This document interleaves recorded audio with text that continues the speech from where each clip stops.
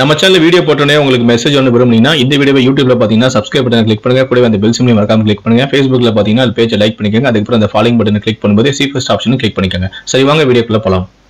தஞ்சை மாவட்டம் ஒரத்தநாடு அருகே உள்ள அம்பலாப்பட்டு வடக்கு கிராமத்தை சேர்ந்தவர் தான் இளையராஜா. வயது நாற்பது. இவருடைய மனைவிதான் சங்கீதா. வயது முப்பத்தைந்து. இவர்கள் இருவரும் கடந்த பதினெட்டு ஆண்டுகளுக்கு முன்பு காதல் திருமணம் செய்து கொண்டனர்.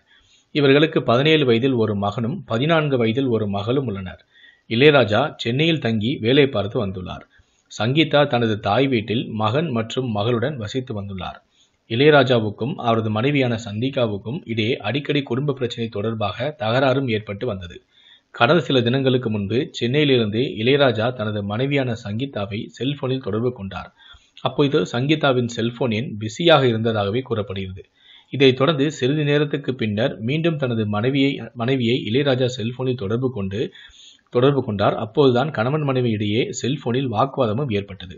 இதனால் ஆத்திரமடைந்த இளையராஜா சென்னையிலிருந்து தனது சொந்த ஊருக்கு உடனடியாக வந்தார்.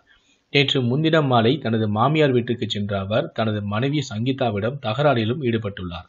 அப்போது அவர்கள் இருவருக்கும் இடையே கடும் வாக்குவாதமும் ஏற்பட்டது. இதில் ஆத்திரமடைந்த இளையராஜா அருகில் இருந்த கத்திரிக்கோலை எடுத்து சங்கீதாவை குத்தியதாக தெரிகிறது. இதில் படுகாயமடைந்து உயிருக்கு போராடிய அவரை அக்கம் பக்கத்தினர் மீட்டு தஞ்சை அரசு மருத்துவக் கல்லூரி மருத்துவமனைக்கும் சிகிச்சைக்காக சேர்த்தனர். அங்கு சிகிச்சை பலனின்றி நேற்று முன்தினம் இரவு சங்கீதா பரிதாபமாக இறந்தார்.